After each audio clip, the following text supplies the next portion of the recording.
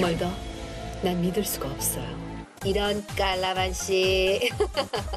2년 전에 네. 고혈압 당뇨 판정을 받았어요. 저는 그 약 먹는 게 되게